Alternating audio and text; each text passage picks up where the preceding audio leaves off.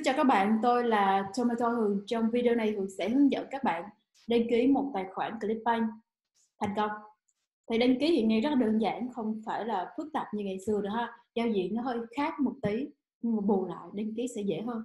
Nên các bạn cứ um, nếu mà các bạn chưa đăng ký thành công thì bây giờ tạo một cái email mới rồi đăng ký lại từ đầu, nó sẽ ok thôi. À, mở cái uh, laptop của mình lên, sau đó bấm vào ẩn danh, tab ẩn danh đáp ẩn danh thì các bạn có thể bấm cái nút trên máy tính là Ctrl Shift N hoặc là các bạn có thể là bấm vào Command Shift N nếu các bạn sử dụng MacBook ha. đáp ẩn danh. À, rồi các bạn bấm vào cái chữ Create Account. Rồi bây giờ mình sẽ điền thông tin mình muốn tạo ở đây. Chọn quốc gia Việt Nam. Rồi first name thì đăng ký là uh, bây giờ mình sẽ đăng ký một cái tên khác thường sẽ nghĩ một cái tên khác ha. À, thanh. Nguyễn duy chẳng hạn. Rồi. À, 84 để số điện thoại của mình vô. Nhớ là số điện thoại chưa từng sử dụng ha.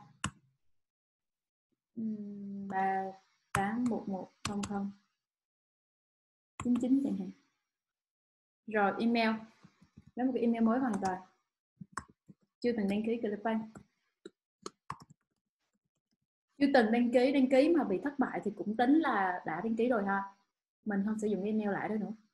Rồi cái mật khẩu của mình thì nó sẽ yêu cầu đó là ít nhất có hai ký tự ờ, bình thường, hai ký tự ờ, hai chữ cái thường, hai chữ cái hoa và ít nhất hai con số và ít nhất có hai ký tự đặc biệt. Bây giờ hường sẽ viết ví dụ như chín hường sẽ cho mọi người xem 90 viết hoa thôi đi days up.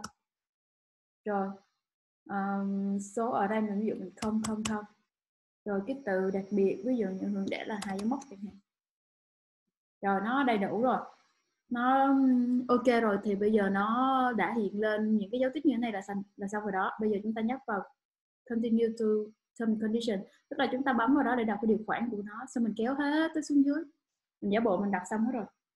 Mình bấm vào cái nút accept term and condition bấm vào đây rồi sau đó thì chúng ta uh, nó hiện lên cái chữ John Clipbank màu cam rồi nè. Chúng ta bấm vào đây.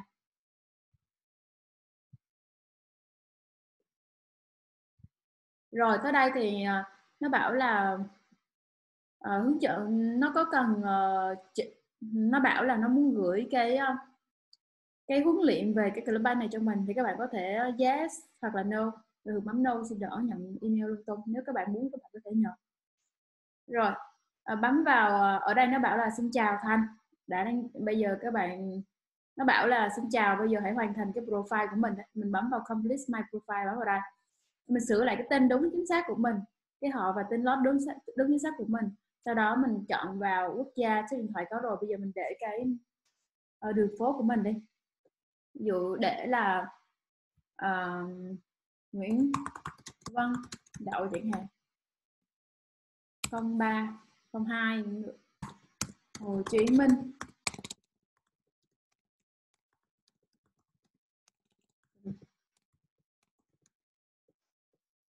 City. Rồi mình chip code, đó là 700 ngàn nếu là Hồ Chí Minh. Còn nếu các tỉnh thành khác thì các bạn lên Google, search sử dụng mã zip code nếu các bạn ờ, đang ở Hà Nội Hà Nội nó là 100 ngàn. Các bạn cứ search như đây đi nếu mà mình là 100 ngàn còn nếu mình ở uh, của Đà Nẵng chẳng hạn. Nó sẽ hiện lên 550 ngàn. Thì đó các bạn ở tỉnh thành nào thì các bạn lên Google các bạn search như vậy ha đơn giản thôi. Rồi bên in em là để họ tên của mình. Ví dụ mình để là Nguyễn Duy Thanh tên các bạn để tên chính xác của các bạn đó nha. Rồi mình chọn là promote products as affiliate ha. Chọn cái chế độ này. Rồi mình chọn không đến 25 ngàn rồi bấm vào lưu lại.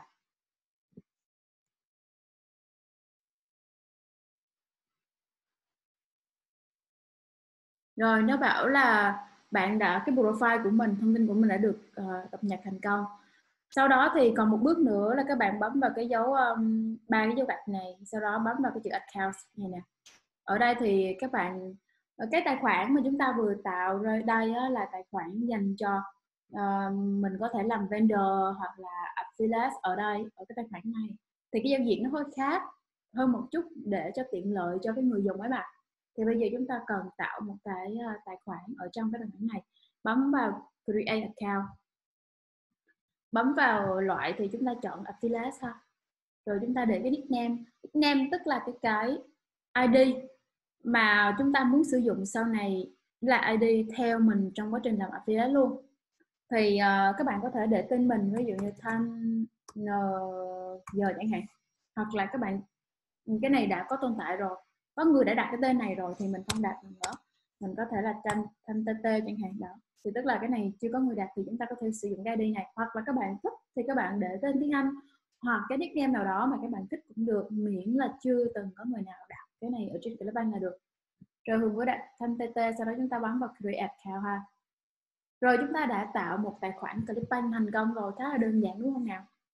Rồi bây giờ các bạn thấy giao diện này nó hơi mới so với các giao diện mà chúng ta được hướng dẫn Clickbank ở trên mạng hoặc ở trong các khóa học thì đơn giản lắm các bạn chỉ cần là bấm vào cái chữ thanh tt cái chữ id mà chúng ta vừa tạo bấm vào đây.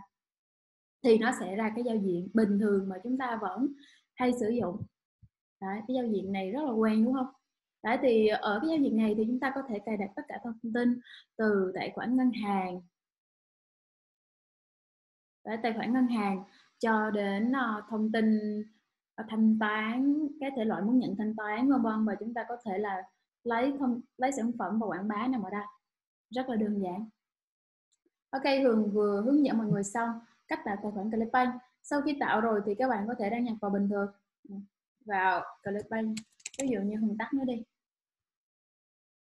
Hồi nãy là hường để cái mật khẩu là gì hả cả nhà? Oh, ok mật khẩu còn đây rồi bây giờ hường ờ, đăng nhập lại ha.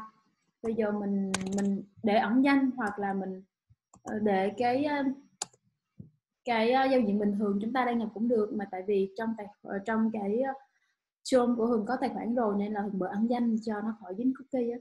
Rồi chúng ta bấm vào login. Chúng ta để email của mình vô. Hồi nãy là Hường để là amcrucial còn gmail.com đúng không? Rồi Hường để mật khẩu.